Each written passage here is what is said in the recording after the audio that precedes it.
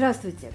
Не на каждом участке еще растет фасоль, но несколько зернышек кустиков фасоли, я думаю, что нужно посадить каждому, потому что фасоль – это очень и очень полезное растение. Во-первых, фасоль богата белком, а в бобах фасоли содержится до 20% белка. И причем это белок растительный, который очень хорошо усваивается нашим организмом.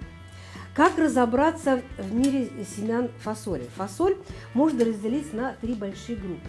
Во-первых, это зерновая фасоль, которую мы выращиваем ради э, таких вот зернышек, и их-то мы и употребляем в пищу. Во-вторых, это спаржевая фасоль. Это фасоль, которую мы выращиваем ради вот этих длинных стручков.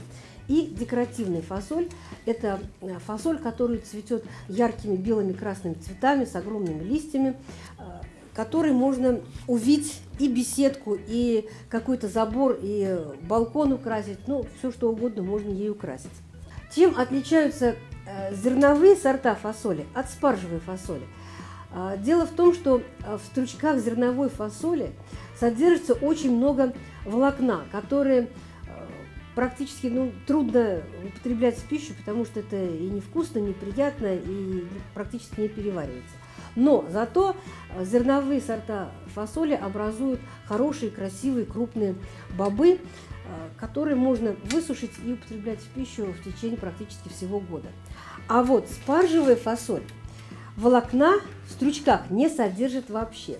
У нее мелкие семена, которые также можно употреблять в пищу, но выращивается все-таки спаржевая фасоль ради того, чтобы мы вот э, в свежем виде вот эти вот э, стручки фасоли употребляли в пищу и сделали из них заготовки на зиму. А заготовки это делаются таким образом, замораживаются э, стручки фасоли или можно их использовать в, в консервах в виде салатов. Фасоль можно разделить еще э, по так, по принципу роста. То есть есть фасоль вьющаяся, а есть фасоль кустовая.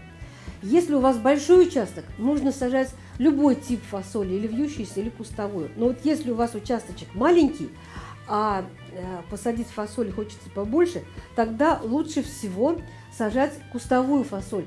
А, ей не надо большой площади, ей не надо никакой опоры, а кустики компактные и занимают совсем мало места. Теперь о декоративной фасоли.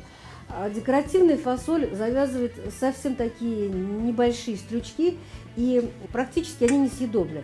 Но зато эта фасоль растет быстро, и в короткий срок она закроет э, любой участок, который нужно чем-то декорировать какой-то зеленой стеной. И у нее крупные, яркие, белые или красные цветки.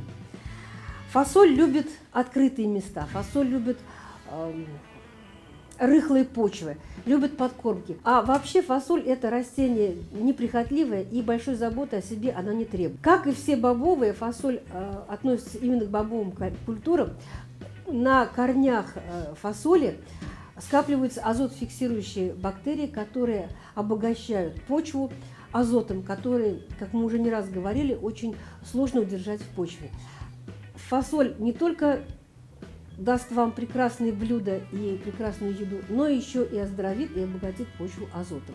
Обязательно сажайте фасоль на своем участке. Надеюсь, наши советы помогут вам правильно подобрать именно тот вид фасоли, который вы захотите вырастить.